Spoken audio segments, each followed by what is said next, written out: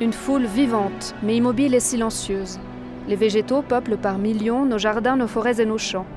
Mais ce silence est trompeur, car les plantes répondent constamment aux agressions de l'environnement. Elles ont développé leur propre système de communication au cours de l'évolution. Un langage, sans son, que les scientifiques comprennent de mieux en mieux. Brigitte Mornani est biologiste à l'Université de Neuchâtel. Elle travaille avec son équipe sur le support de cette communication. Les plantes se parlent. Bon, nous, on se parle euh, avec des paroles, et les plantes se parlent avec des molécules qu'elles reconnaissent. La chercheuse a récemment découvert une de ces molécules, BABA, un acide aminé produit en très petite quantité par certaines plantes.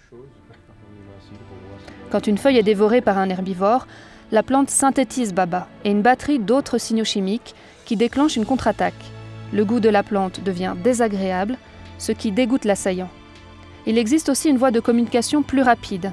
La feuille attaquée envoie des signaux électriques, comme dans les neurones, pour enclencher les mécanismes de défense. À l'Université de Lausanne, des biologistes étudient ce mécanisme. Toutes les plantes à fleurs qu'on connaisse ont cette capacité d'envoyer les signaux électriques. Il y a un parallèle fascinant entre les plantes et les animaux, dans le sens que les deux utilisent les signaux électriques de communiquer entre les organes.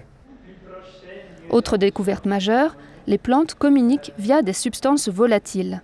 Celles-ci sont relâchées dans l'air et dans la terre. À Neuchâtel, l'équipe du professeur Ted Turlings s'attelle à décrire ces molécules volatiles. Sa méthode poser des cloches sur les plantes en laboratoire. Les plantes voisines écoutent et aussi reçoivent ces signaux volatiles. Avec leur artillerie chimique, les plantes attaquées alertent leurs voisines, mais pas seulement. Des études récentes montrent qu'en cas d'attaque par un insecte, la plante peut appeler un animal à la rescousse, un ver par exemple, qui va dévorer le nuisible. Tout un dialogue entre végétaux et animaux que les chercheurs tentent aujourd'hui de décrypter.